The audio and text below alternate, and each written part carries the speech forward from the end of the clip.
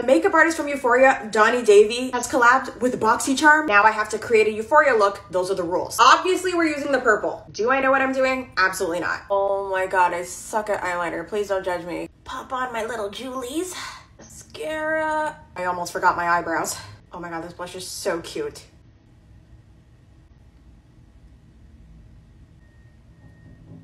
Oh my god, you guys, this looks so good. I need the filter. Rue, when was this?